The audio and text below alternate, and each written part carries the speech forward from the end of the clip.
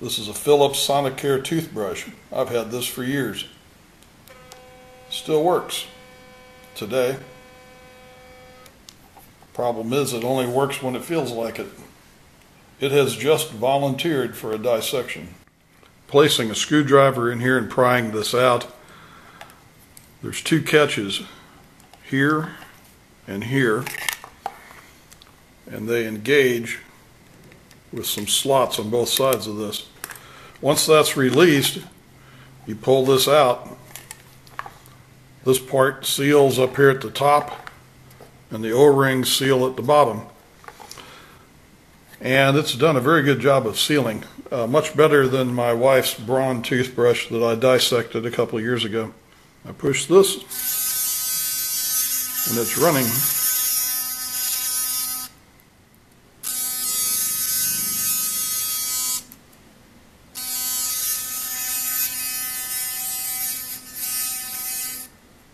This toothbrush just oscillates back and forth. There's no rotary motion here. So this really isn't a motor, it's a magnetic oscillator. Causes that head to rotate that much. There's a spring in here that pushes against the end of this magnetic motor and the battery section.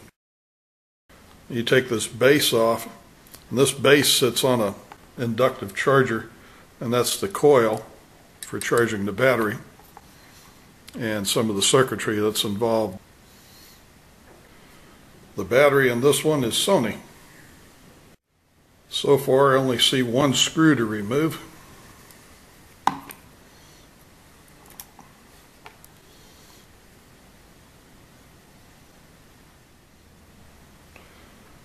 Remove that screw and then this comes off of that backing for the circuit board.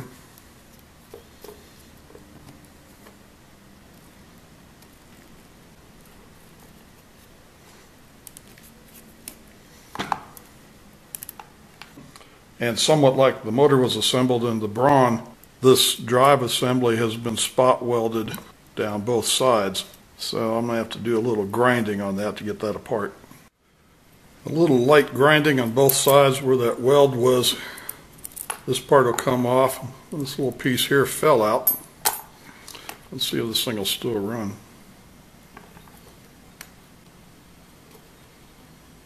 It's vibrating. Does not want to run. Ordinarily it would run, but that's part of the malfunction. There's something going on in the circuit. This part is engaged with that magnetic drive, slide it forward, and it comes right off. So the part that goes up against that is a very strong permanent magnet. This electric horseshoe magnet is mounted in here to where it can't quite touch that permanent magnet. They reverse the polarity on that real fast, and this magnet reacts to that and jumps back and forth like this. And that's your entire drive mechanism. Remove the few remaining screws.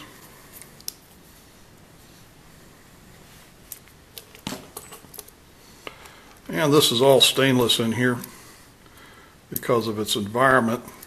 But like I said, this has remained quite dry. This seal at the front and the O-ring at the back have done quite a good job of keeping this water tight.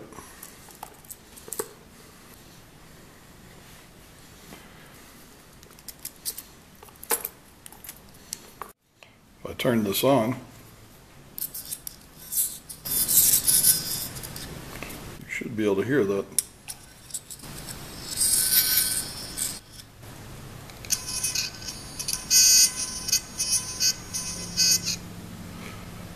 The main case and a silicone rubber push button that sealed in this section and worked on this button on the circuit board.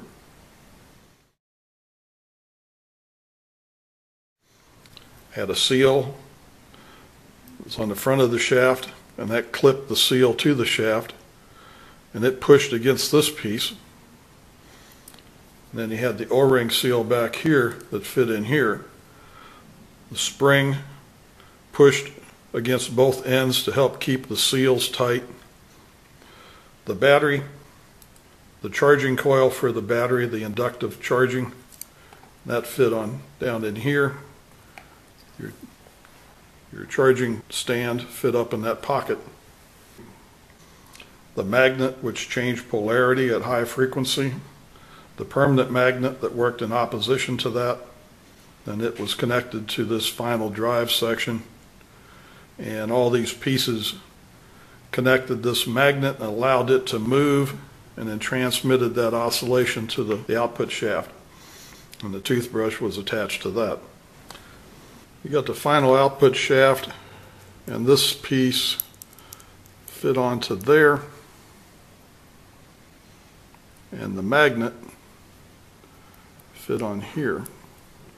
As that magnet oscillated, it transmitted that high frequency oscillation to the output shaft